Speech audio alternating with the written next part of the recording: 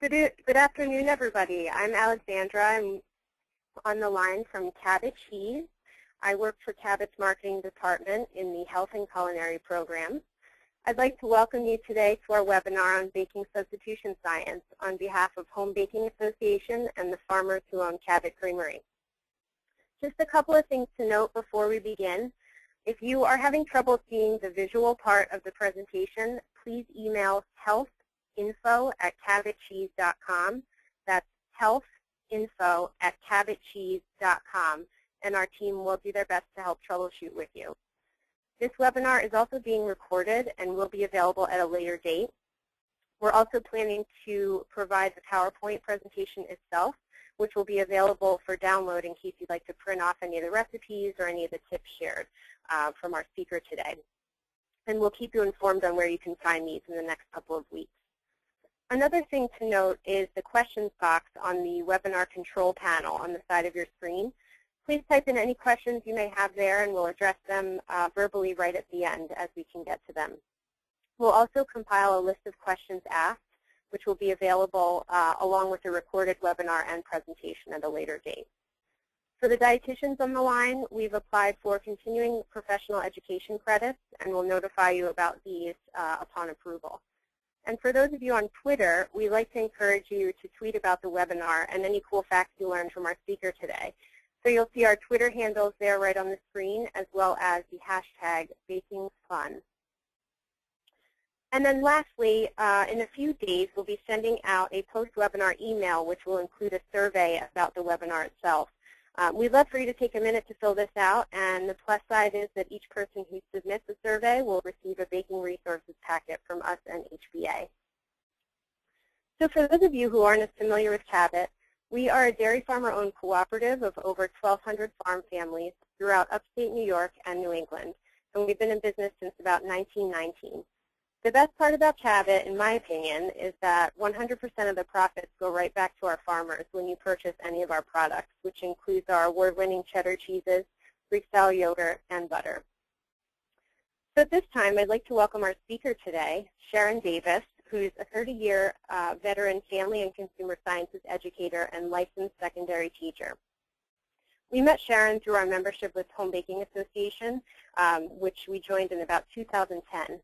Sharon and Executive Director of HBA, Charlene Patton, uh, both do wonderful work in growing and supporting the practice of home baking, something that's of course near and dear to our hearts as a cooperative of farm families.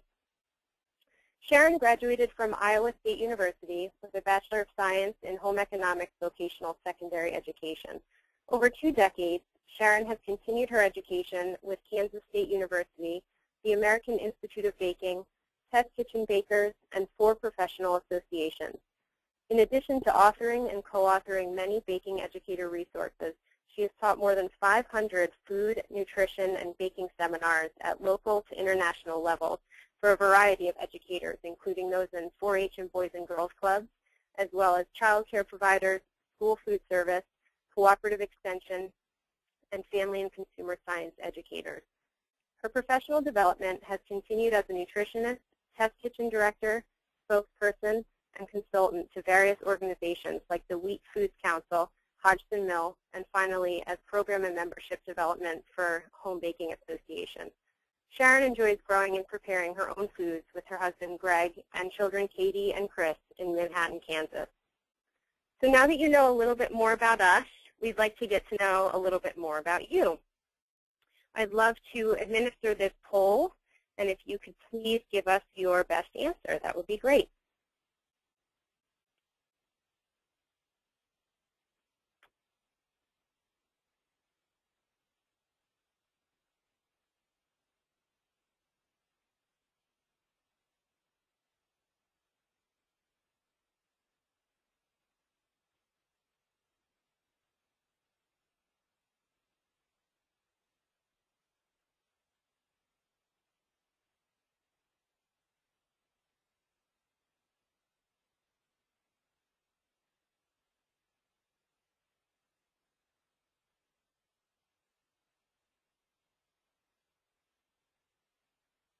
Okay, and here are the results of the poll so everybody knows uh, who is joining us today.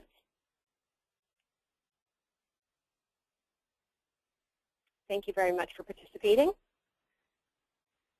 So today, our goal is to provide you with a few reliable and affordable nutrient-rich baking substitutions and resources, which you can hopefully extend to the individuals and families you serve, or of course apply them to your own everyday life. So with that said, I'll now hand the reins over to our speaker today, Sharon. Hello. I want to welcome you all to um, my test kitchen and um, also wish we could see each other face to face. But um, let's just go ahead and um, I look forward to hearing your questions at the end of the presentation as well. So um, we'll look forward to you using that, um, that option. Um, in entering this topic, um, it's, it's important for us to, to realize that there is so much we can do with baking substitution. And today we're going to focus, like the picture shows, on um, work we've done with other food professionals. This is an extension group that um, I worked with recently. Um, but today, with this substitution science goal that we have, we want to look at um, substitutions that can be affordable, can be done at home. Yes, they can always be done um, in a professional kitchen as well. Um, we want to look at the ingredient functions because that predicts how we make the substitutions. Um, you can't, uh, no ingredient is apples to apples. So um, we have to make sure that we understand what the function is that we're altering when we make a substitution. We want to see things be nutrient dense. In other words, we aren't just doing this because um, we don't have anything else to do. We want to be sure that the additions we make have some impact that we're looking for. The methods you use, the temperatures are really important to success. So I will allude to that, but um, you want to remember that the methods in baking are much more precise than most, many, many cooking methods, where you can put a pinch in of this and a pinch of that. In baking, we do need to measure accurately, use the proper tools or scales for that, and then um, be sure that we do methods like preheating properly the oven, um, cooling things properly.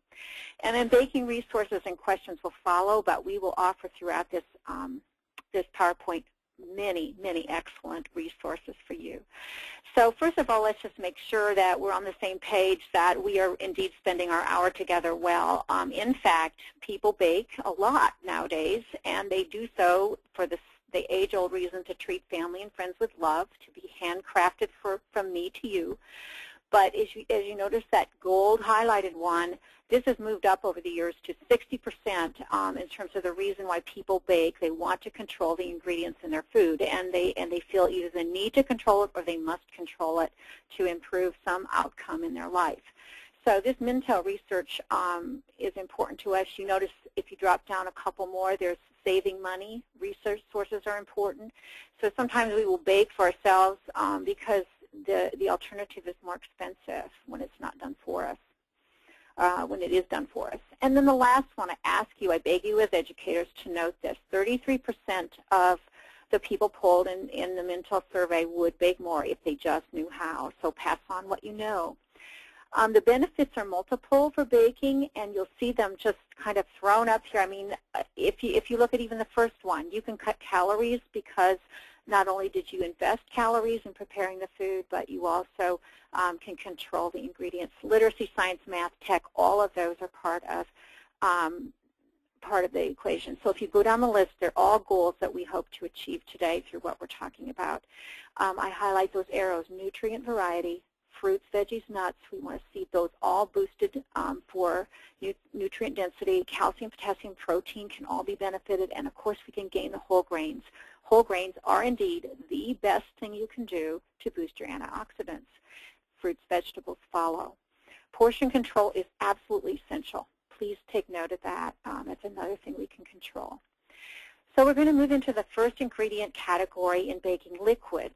And um, I just want to say that we use this first because liquids, the function of liquids is huge. And you first of all see that it moistens and hydrates everything that you put in the in the bowl, in the mixing bowl. And indeed, you would hear this huge clamor if you could hear the ingredients talk. They would all be um, wanting some of the liquid that you add because they want to be hydrated, they want to be dissolved, they want to have them, their ingredients blended together. They, they then, when the heat hits the combination, it, that liquid will turn to steam and it will expand the air cells. It will gelatinize the product, the starches in the product, the proteins in the product. and that gives it structure. Um, it will provide flavor, texture, and richness, so that depending on what kind of liquid you use, it can um, add nutrients, and it certainly holds moisture in the product, and it will aid in browning. I use this lovely pumpkin raisin bread as an illustration because hydrating the raisins is important, conditioning them. We'll talk about that twice in this PowerPoint. But um, the liquids are not static in a baked product. They can move in and out and around throughout the product. How you cool the product is important. Cool it on the cooling rack. Take it out of the pan after that minimal um, moment in the pan of cooling um, so that it cools properly and um, the liquids don't um, move in the wrong direction for you to staling. Fruits, veggies um, are a great liquid substitute. Um, we can use, of course, many recipes will use water and milk, and we'll talk briefly about that. But remember that most fruits and veggies are about 80 to 92% water. Even if they're hard, like a sweet potato, that sweet potato is still mostly water. So it makes a great addition in many quick breads, uh, from pancakes to waffles to um, loaf breads, anything like this strawberry muffin top. Um, mashed or pureed, the water content of fruits and vegetables will add up to three-fourths of a cup of water to your batter. Um, so just take that into consideration if you decide to substitute. Um, take a cup of water. Instead of using a cup of water, you're going to use um, three-fourths of a cup of vegetables, pureed or mashed. Um, then you want to cut that water back appropriately.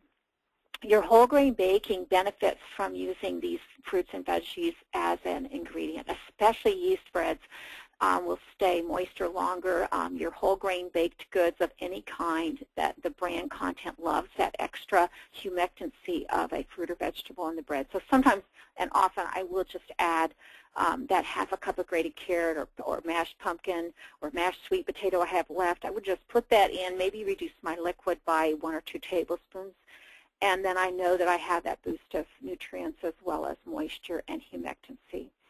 Um, if the fruit and veggie is acidic, you want to be sure you reduce the, the baking powder and use a little soda because um, the batter's acidic level will change and it would react better and um, do better if it has the soda and not just the pure baking powder. So a guideline might be then if you're using half to a three, three-fourths to a full cup of an acidic fruit like, um, oh, let's see, rhubarb comes to mind because it's just about ready to be pulled in my garden. Then um, you have that rhubarb sauce. You're going to use it in a, in a bread or you're going to use it in something like a, a waffle or a pancake. You want to use a little soda as well. Dairy ingredients are great um, ingredient for liquid substitution if you've just got pure water in a in a in a recipe. Um, for one thing, you want to remember that milk is, of course, mostly water, 90%, but the remainder solids are um, absolutely essential to us. They're proteins and lactose, which increases the sweetness and the browning of the product.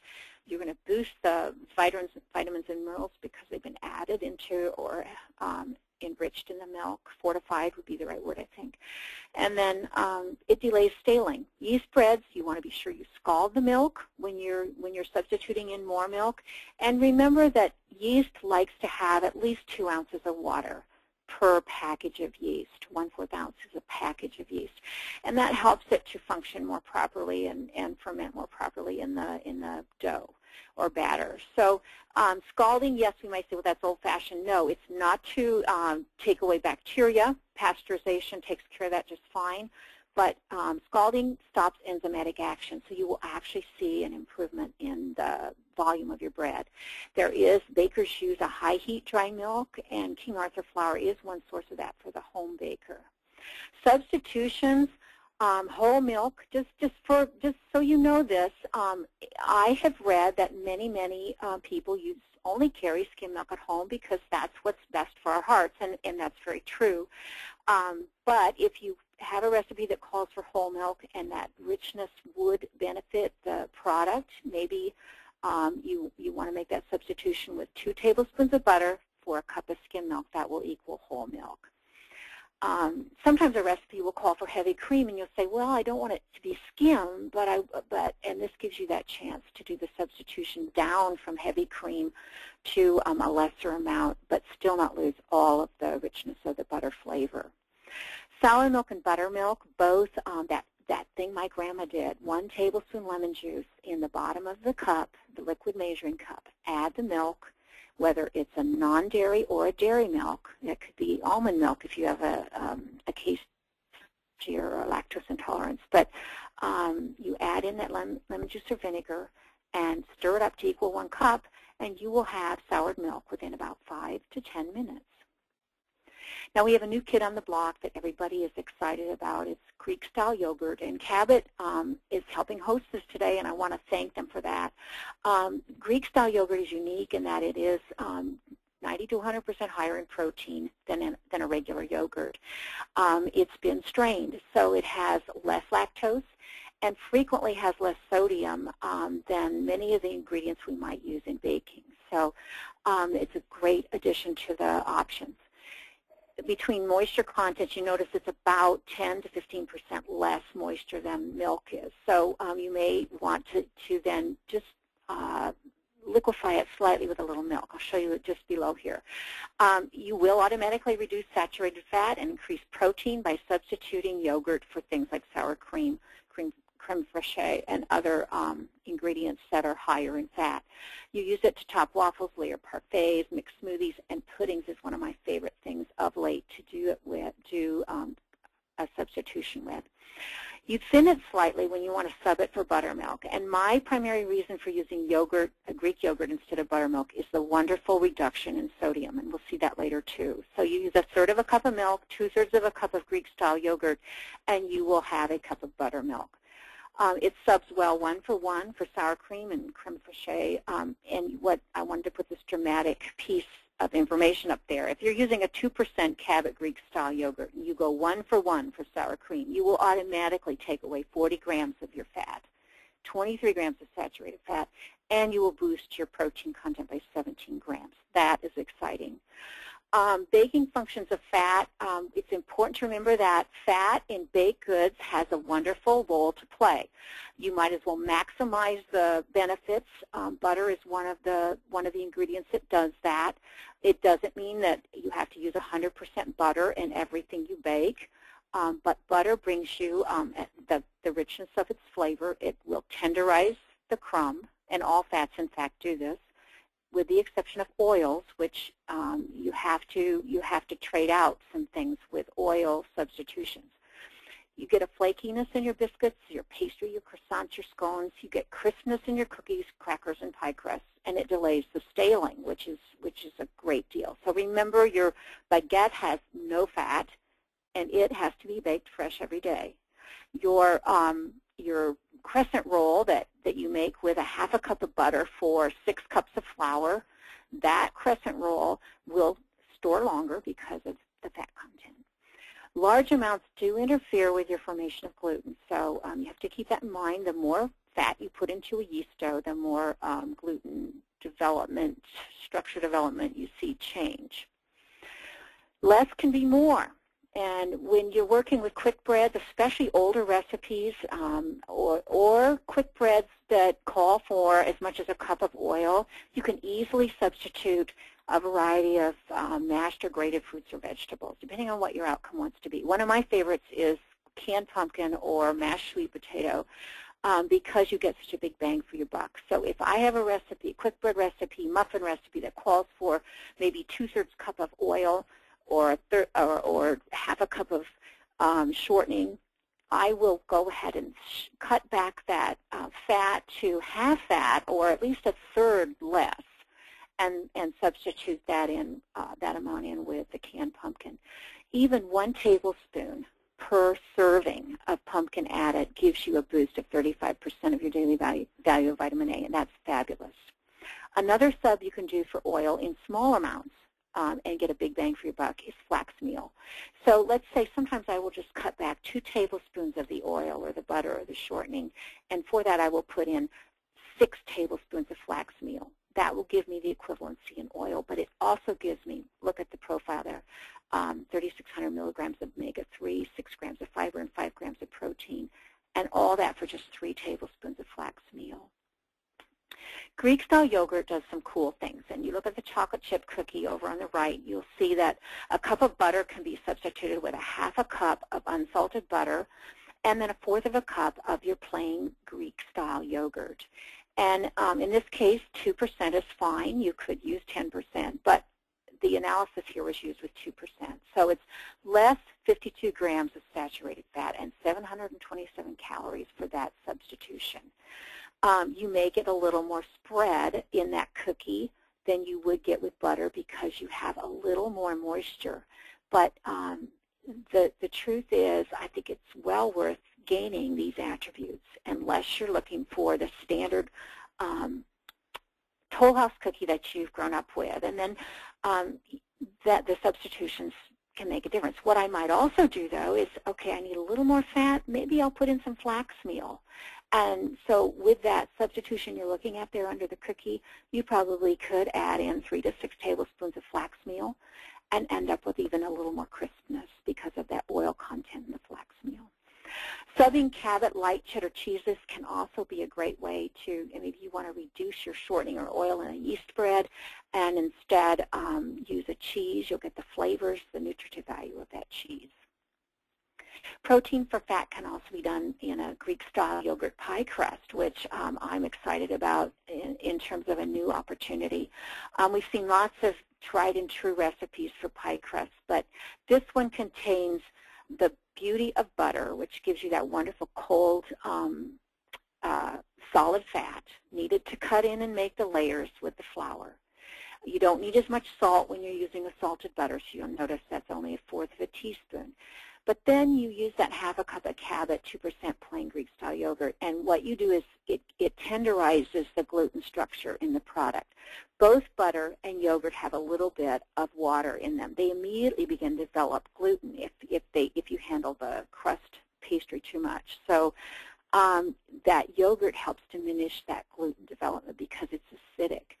Some people will use, um, and I've heard everything, um, but vinegar is a common one. My grandmother, you'd see um, her using in a pie crust, and we see vodka used as well. But all of them um, are used to help modify the gluten so that you don't get a tough pie crust. Other substitutions I want you to note, um, in scones, biscuits, shortcakes, anything where you're looking to use heavy cream or sour creams. Again, the heavy cream can be substituted half cream with half Greek-style yogurt you might want to use a fourth of a teaspoon of baking soda if no soda is called for, and then knock back your baking powder slightly. Um, cheesecake tiramisu, again, um, we can make that beautiful substitution of half a cup of yogurt for four ounces and plus the four ounces of cream cheese, and that could be a Neufchâtel, a, a light cream cheese um, for the for the mascarpone you have to forgive me. My um, my pronunciations are weak. Sometimes I'm just too Midwestern. Um, have your cake. Well, the cake itself is not low fat.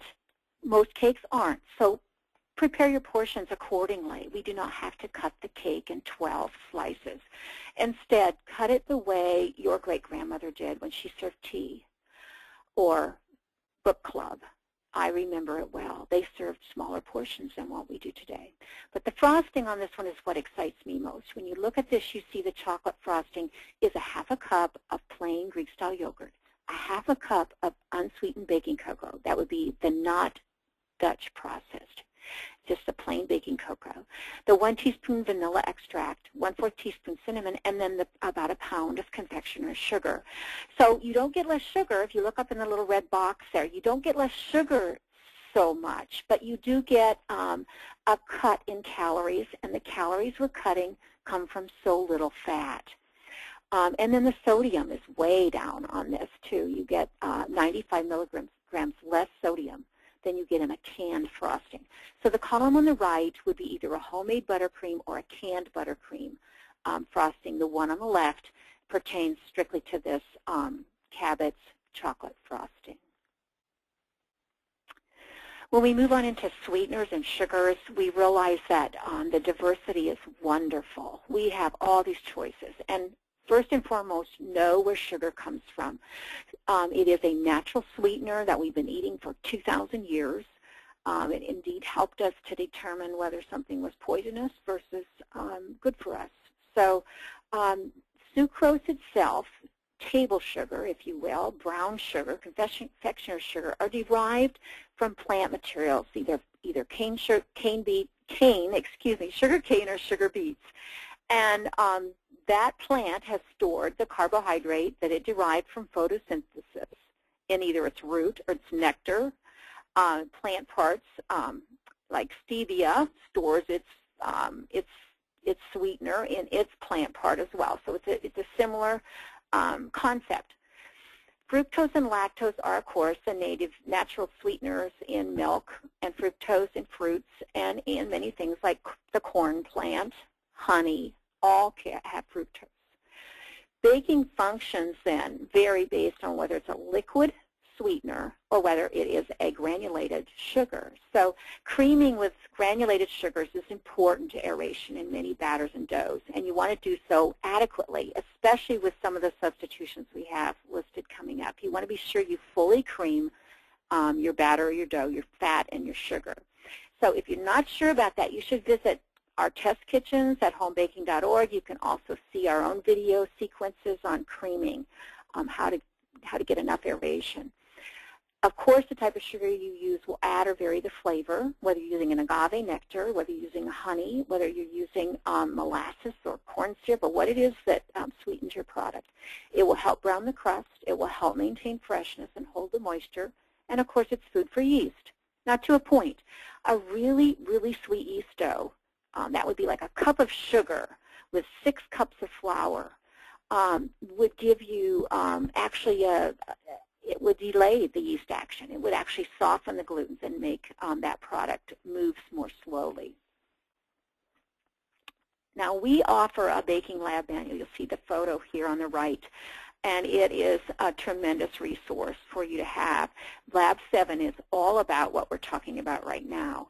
Um, but I do want to draw your attention to that lab manual because every ingredient we're talking about, most of the material we're covering here is covered plus 20 times more in the Baking Lab manual.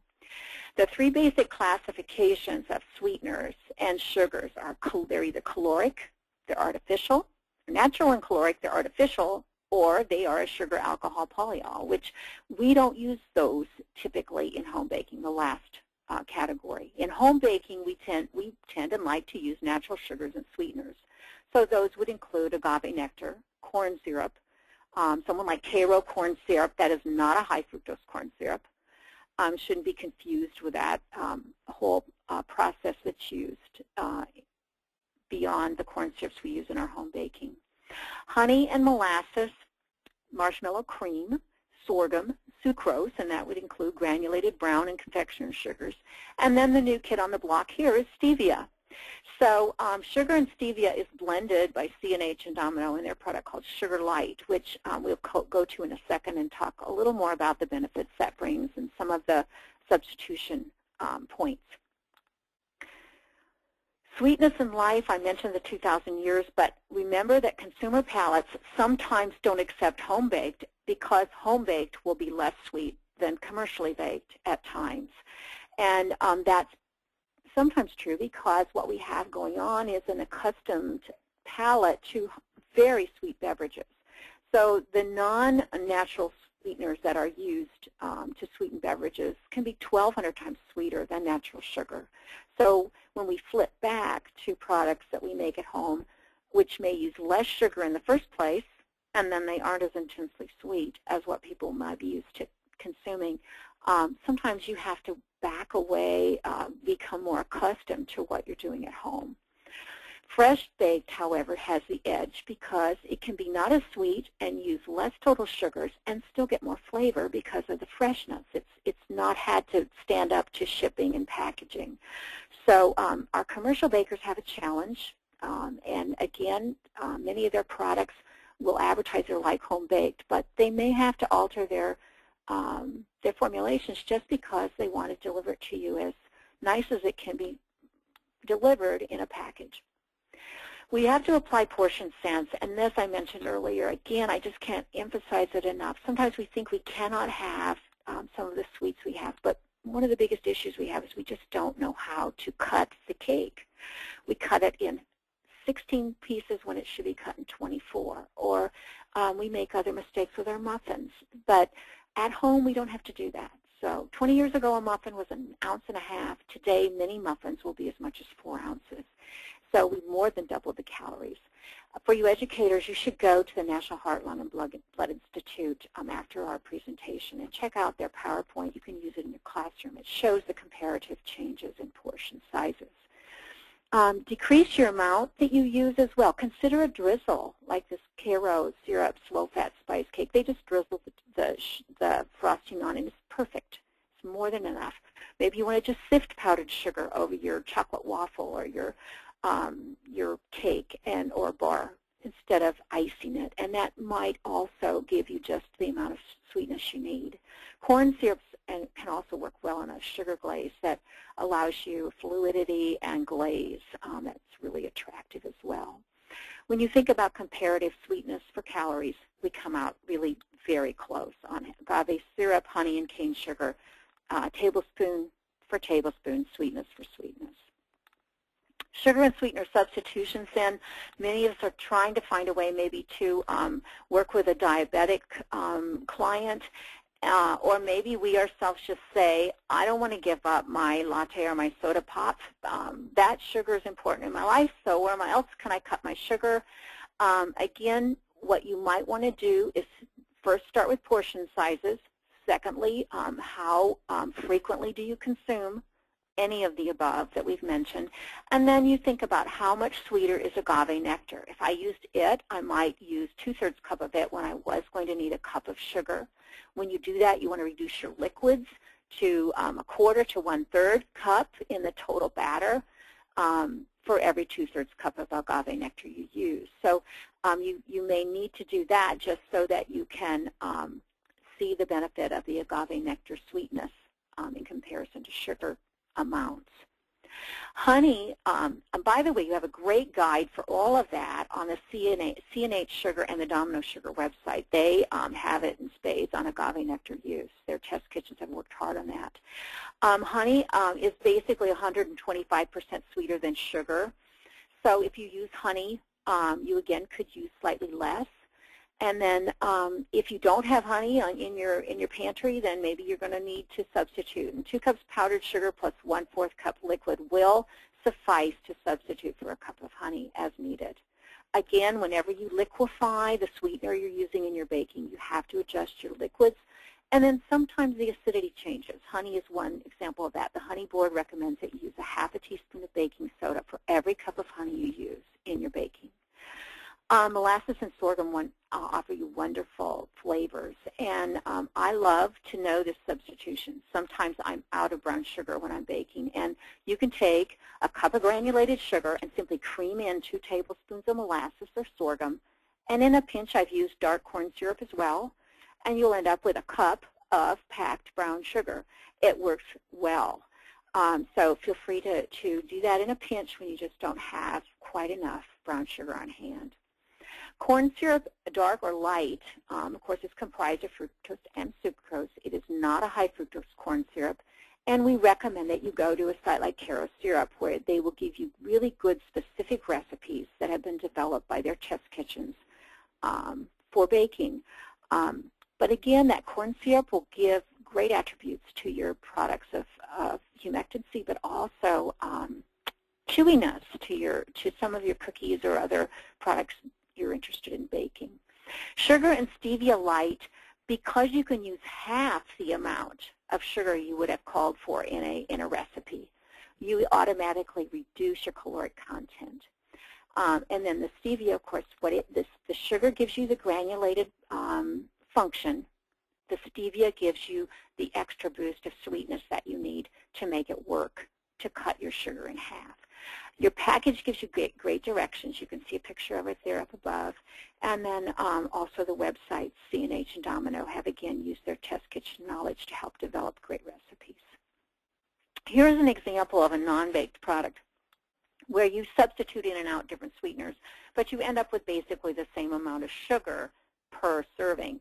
So on the one on the left, um, it's an awful lot of type on one slide. I, I apologize. But we used a solo marshmallow cream. and it gave a really light fruit dip. Um, we didn't, we, we went ahead and used the Neufchâtel light cream cheese. We used some Greek yogurt um, along with it, and um, we came up with this lovely light uh, citrus fruit dip, which is ideal for right now as the strawberries start coming in. But again, it was just 1.7 teaspoons sugar per dip serving.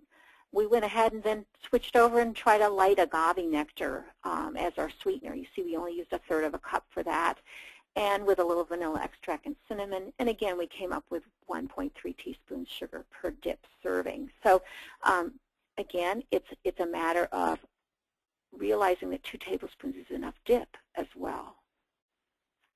Cookie traits, um, crispness, I just want to run through these because sugar and fat, the two uh, functions we've just covered, are really important for how your cookies turn out. And cookies, of course, are one of our favorite things to bake in the U.S.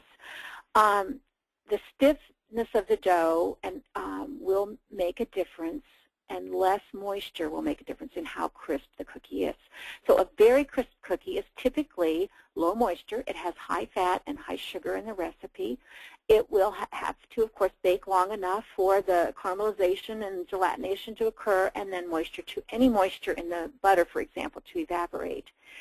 Um, a small size or a thin shape, like a pizzelle, would be um, an example of a thin shape that's very crisp.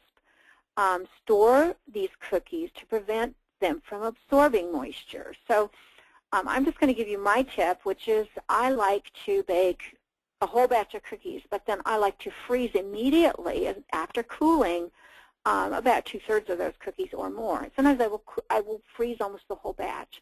That gives me, after I've eaten the warm ones, of course, but that gives me a chance to keep them fresh without the chance of them absorbing more moisture.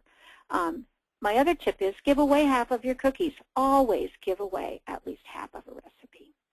You'll make lots of good friends, and um, you will eat more than you need. Cookie traits for softness, um, this is important again. Um, uh, usually there's more moisture in the mix, so that gives you some opportunity to put in more fruit, purees, pumpkin, grated carrot, zucchini, anything you wish to put into a, an oatmeal cookie, for example. Um, you'll use lower fat and sugar automatically. Um, soft sugar cookies are one that, just go back, that was the popular cookie of the day back um, when my grandmother was around. And part of that was because they, they could use less sugar and less fat because of costs and because of the war. And so we might go back to some of those wartime recipes and say maybe they had it all together there. Um, sweeteners that will give you that softness and chew to are agave nectar, honey, uh, corn syrup, molasses. Sometimes we underbake them to get that attribute, and I want to just caution you on that. You want to be sure your cookies are done. You don't want raw dough in the middle. But um, you do just bake them to doneness, and they will bake another minute on the cookie sheet um, after you take them out of the oven. So keep that in mind. You don't want to overbake them either. I want to draw your attention to, on our website, homebaking.org, we have a section in our educator resources called Kitchen Science. Um, and Cookie Science is a lesson in that, uh, an abbreviated version in that, and then our Baker's Lab also has, Lab Manual also has um, multiple cookie science um, pieces to it. Chewiness, um, similar to um, softness, but again, you, have a, you will have a higher sugar and liquid content, a lower fat content. So if you can live without the crisp cookies, you will automatically typically have lower fat content. Um, sometimes you can get that chewiness with a higher proportion of eggs, egg, um, and then don't don't confuse egg whites with egg yolks. The yolk is the fat portion, the white is the protein portion, and the whites will, will give you lots of structure, but sometimes they will toughen things because of that um, pure protein that they are. More mixing to develop the gluten or a stronger, higher protein flour will also change the, um, the outcome, the chewiness of that product. If you're having too much spread, you might consider this. Um, you will decrease your spread by using the superfine sugars that are available in some, in some uh, baking aisles. You also, if you blend the fat and sugar to less of a, more of a paste and not so much of an aerated mixture, your spread will decrease slightly. Um, half shortening and half butter are a great way to see that cookie bake and set on uh, in its the shape you want. And I put cold after butter to remind you you do not want to over soften your butter. Um, and never use a butter substitute uh, low, you know, reduced fat butter in a product unless the recipe's been written for it. Um, you will automatically add too much water. That cold butter is important. If you can take the stick of butter and just slightly bend it, that's, that's warm enough.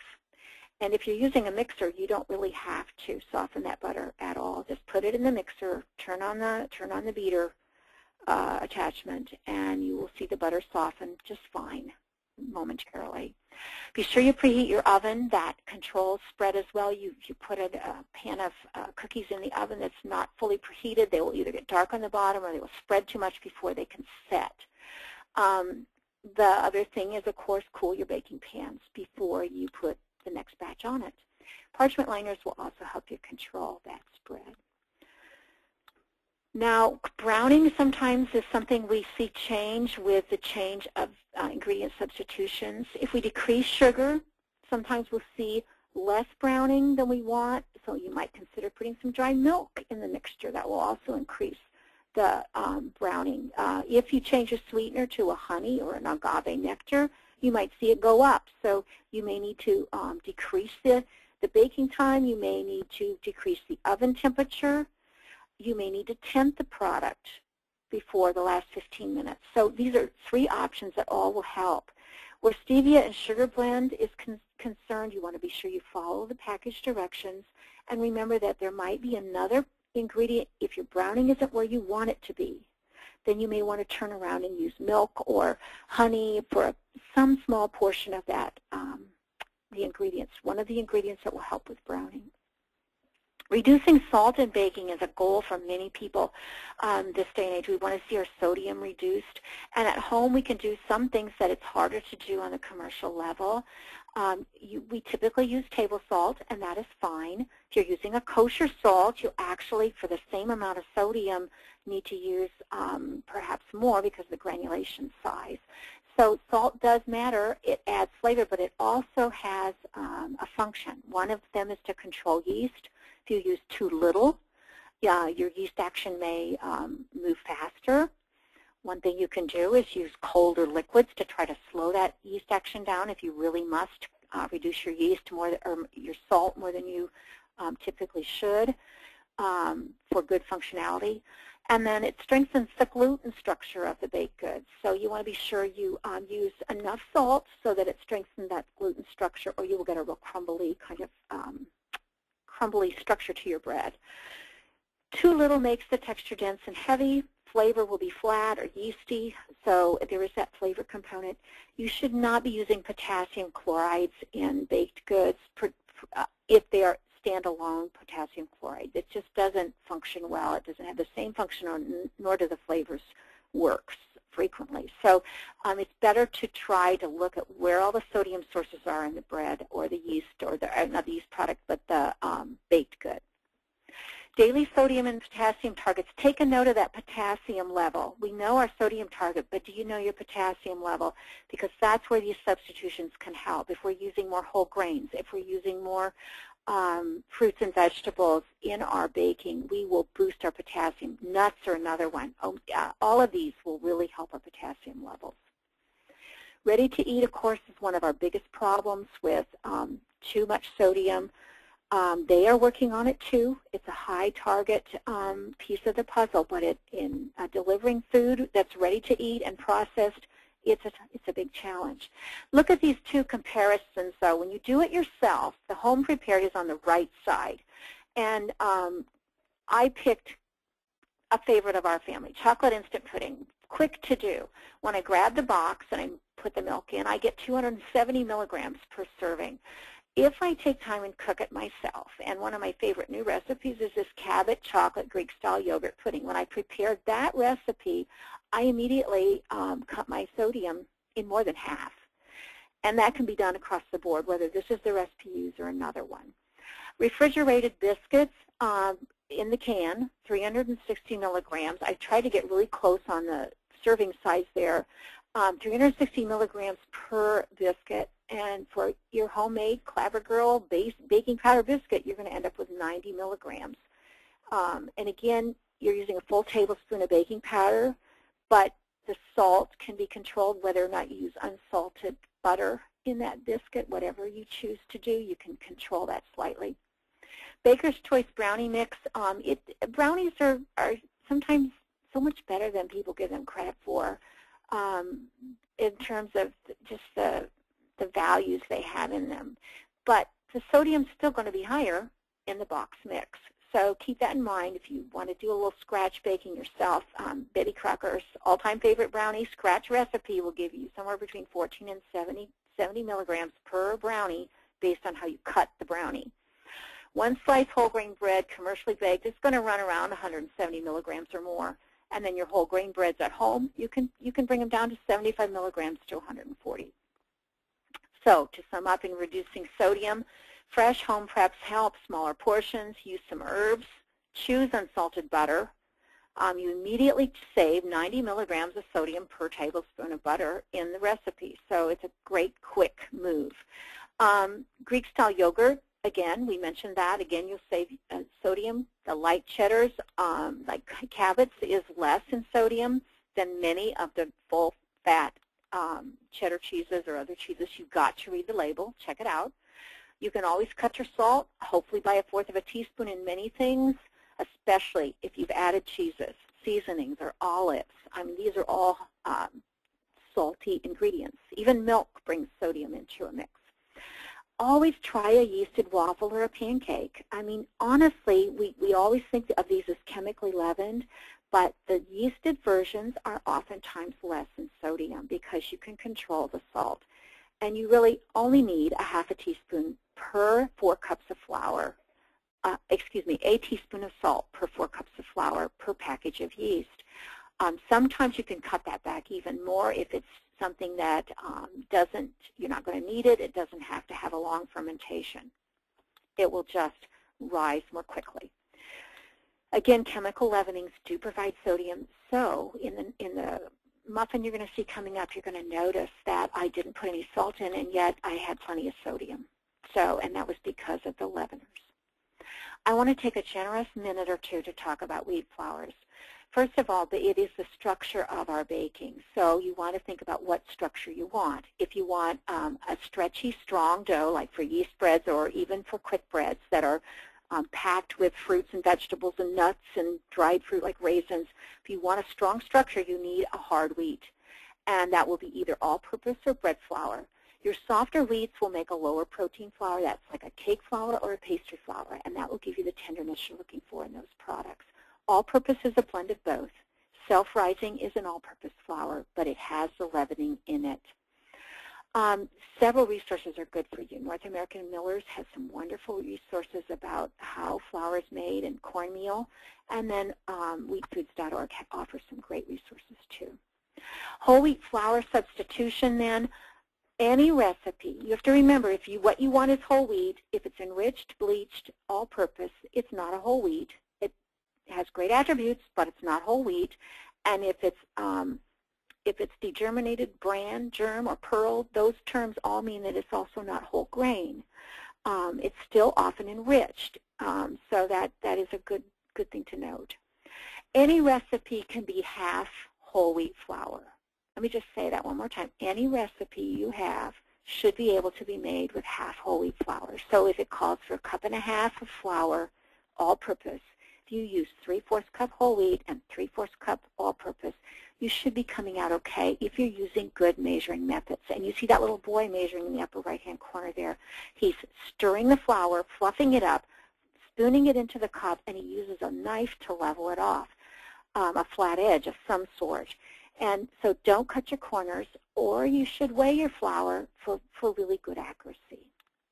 Whole grain on any label, and in home baking as well, means that you need to have 8 grams of whole grain ingredient per serving. That could be cornmeal, it could be oatmeal, it could be wheat, whole wheat flour. Any of those will give you whole grain goodness.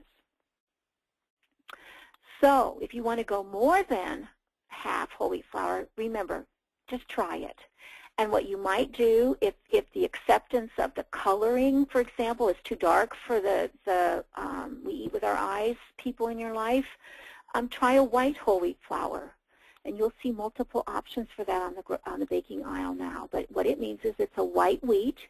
the, the bran coat is white instead of red, or at least it's kind of a golden color, and it's it, it will give you a lighter colored product. It hasn't been bleached. It's just white. Cocoa or chocolate will help you mask coloring. So can spices and veggies and other things brighten up the color or the flavors in a whole wheat product. And I find that yogurt, sour creams, milk, sour milks, uh, buttermilk, all of those will help lighten up my quick breads. Um, so I frequently will try to use those as well, especially when they're 100% whole wheat. Um, you do not need more yeast in a whole wheat yeast bread. Sometimes you can get too much yeast that way. So go to our, our um, baking websites that, that offer yeast research, like um, uh, you'll see them in our membership section. It's important for you to note that um, right now there's a there's a whole trend that says wheat is what our issue is with obesity. It's important to look at the data. Um, we can offer you lots of that in spades through um, many of our members as well as the Wheat Foods Council. But just note that um, in the year 2000, from the year 2000 to the year 2012, we have consumed almost 12 pounds less per capita of wheat flour. So that means, I mean, our obesity is there, our overweight is there, but it isn't wheat flour that's necessarily the culprit. In terms of ingredient allergies, um, I want to quickly go through this um, to note that um, you should always get it diagnosed because if you don't have that as your issue, it will make life easier for you and less expensive. Celiac disease is a disease, it is not an allergy, and it requires a blood test and an intestinal biopsy to determine it. And therefore, you want to encourage your clients to get that, not just to come in and say, oh, my doctor suggested I go gluten-free, because what that will do, it adds stress to their life, lots of extra costs, and often less nutritional value. So um, the good news is that really um, only about 2% of our population, maybe up to 5% of our children have these allergies to ingredients. And gluten um, hovers around 1% for celiac disease. And then non-celiac disease gluten sensitivity is estimated between 1 and 6%. Follow the research. Use good, solid research when you're working with those issues. Egg baking functions, I'm going to skim through this and cut to what we can do to substitute for eggs, but just note that they do leaven, they do give structure, and they certainly give nutrition. If you need an egg substitute, you can substitute for one to two eggs in quick breads, cookies, muffins, bars, pancakes, and there's three options that we use. Two egg whites and a half teaspoon oil will work. It will be tougher, though, um, as a product. You can use three tablespoons of water and a tablespoon of flax meal for every egg, large egg, and you can use a fourth of a cup of soft silken tofu. Cream well. Cream your butter and your, um, and your sugar well. Then add your um, egg substitute and cream some more so you get plenty of aeration. Dairy substitutes include soy, rice, almond milks. You should always compare them nutritionally um, with dairy milk. And then um, just one for one. Cream cheese, um, again, you can use a tofu-based um, cream cheese substitute, and that um, is 12 ounces of silken tofu, 2 tablespoons of vegetable oil, and a teaspoon of lemon juice, and a pinch of salt. If you need to bake with non-wheat flours, um, remember that the substitutions go like this. First of all, if you don't want to change the recipe at all, you just want more variety of grains in your product, you can take anywhere, if you have a cup of flour, you can use a, up to a fourth of a cup of that um, cup of flour as any blend of non-wheat ingredient, and you shouldn't have to change your recipe. I will say that if you use rye or barley flour, you'll still get some gluten, which can help you with your structure. If you have a wheat allergy and you just have to get rid of the wheat, then you need to use a blend, just partly for texture and flavor, partly for functionality. None of those non-wheat flours except rye and barley will give you any gluten. So you have to realize you need to use some guar gum or xanthan gum, at least a half a teaspoon per cup of flour to give you structure. Gluten-free is typically the same thing, although they are not the same. Remember, wheat, barley, and rye are not gluten-free, and sometimes oats aren't either.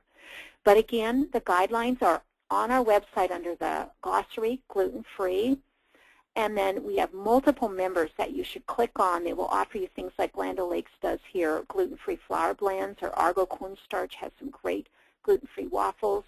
Our yeast companies, um, test kitchens have come up with good gluten-free guides. Bob's Red Mill has done much work as well as Hodgson Mill and King Arthur Flour. Let me just show you my, my trial, and then we'll be done here today. I took a great recipe to start with. It was, it was tested in the Kansas Wheat Commission's test kitchen. Um, it's a whole white wheat muffin. But I decided the things I would change about it, um, and they turned out pretty well. I took away part of the butter. You see I went with a third of a cup, and instead I used some golden flax meal for part of the oil or fat.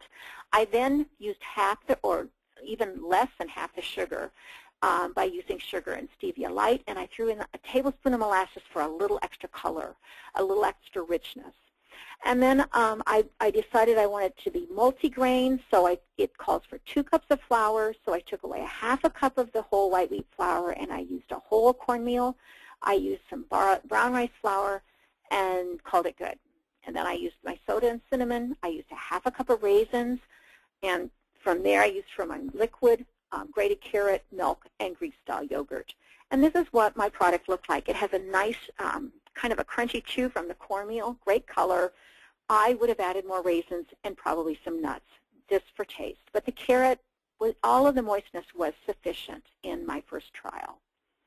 I want to say to remind you to you keep on top of your baking temperatures. We have great guide cards that offer you guidance. There's also information on our website. But you want to be sure your raw eggs um, are cooked completely, and you want to be sure the internal um, structure of the breads are set. So you need somewhere between 140 degrees for quick breads and 160, and then with yeast breads you clear up to 190 degrees for gelatinization. Cool those products properly, wrap them after they're cooled, and when you you should freeze them and not refrigerate them if possible, um, unless they're they're sweet, you know, like cheesecakes. Offers you nonprofit information, online order forms, and because we're nonprofit, we're very affordable. We have 30-member test kitchens. We have farm-to-kitchen resources, and we want to award you money for your work. So check us out. Now I want to thank you, and now let's look at questions. There's surely a few minutes for them. So let me take a look and see what we're, we're adding up. First of all, I have a question that says, should you remove two tablespoons out of the cup before excuse me, I don't see the question completely here, before adding the two tablespoons butter or margarine when substituting skim milk for whole milk. Um, yes, put the two tablespoons butter in and then add the milk, skim milk. That's, that's a good point. Where do you find flax meal? You should be able to find it in your baking aisle or your cereal aisle. Either one of those is, is where you will find it. And, and go with flax meal, not the whole flax seeds. What was the website that showed portion history? It's the, Nas the National Heart, Lung, and Blood Institute, and we will post um, we will post that um, as well uh, in the in the online uh, PDF of this this PowerPoint.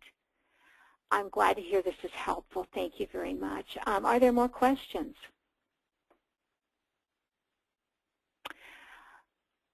if there are no more questions, um, I'm going to go ahead and um, I just want to move on one slide to remind you to do the post-survey, receive our free resources, and um, and also you'll see the website um, will carry the recorded webinar. Now here is my email. I invite you to ask questions if you wish to. And I, will, I see I have a couple minutes, so I'm going to go back to questions and answers. One question I have is, parchment paper is too expensive to suggest when working with poor families. Substitution. The substitution is what we have done forever, which is simply um, if you unwrapped um, a stick of margarine or butter, you rub that over the cookie sheet. Um, you take um, a, your hand or a, your clean hand or you take a paper towel or napkin and you put a little vegetable oil on it and you rub that on the pan. So greasing still works. Parchment paper is something that we find to be, I mean, I still consider it kind of a cool luxury because um, I didn't grow up with it either. We didn't afford it. So, um, but it does have great attributes in terms of saving um, your pans from getting gummy. Pan sprays are also a luxury, truthfully, and they aren't always so great for your pans. It, um, baking temperatures may make the pan get gummy from the pan sprays. So really a little oil or shortening or, or butter greasing the pan is adequate. Any more questions? I can't thank you enough for, for coming online today. I hope you'll look for um, the resources we mentioned. I flew by the gluten-free um, and the, the baking substitutions for flours, but on our website is a great lesson called Baking for Special Needs. And I encourage you to go online uh, and look for that lesson. It has much of the material and information that I covered in that slide. Um, our baking lab manual has even more, so you may want to obtain a copy just to have as a resource to work with your clients. Um, it gives you so many great guides in it. Thank you very much. Okay, everyone, this is Alexandra again calling from Cabot. I just wanted to come back on the line and say thank you very much for attending this evening and this afternoon, depending on where you are in the country. Um, we do see a few more questions coming in, but we're just about uh, out of time here. So what we're going to do is we're going to post uh, a list of questions and answers for you along with the recorded webinar and a copy of the PowerPoint presentation. Those will be available on both Cabot's website and Home Baking Association's website. Um, and we'll shoot you an email in the next um, week or so to let you know where exactly you can find those resources. Uh, more importantly, too, we will be sending you out a post-webinar email by the end of the week, which will contain a survey, which we'd love your feedback on. Um, we just would like to know if we met your expectations, what we can do better, um, and what you'd like to see next time. Uh, also, anybody who fills out a survey will actually receive a free uh, baking resource packet from us. So please do take a minute and fill that out. And I guess I will close up now. Thank you, everybody, for attending, and I hope you have a wonderful evening. Thank you so much for presenting, Sharon. Wonderful job.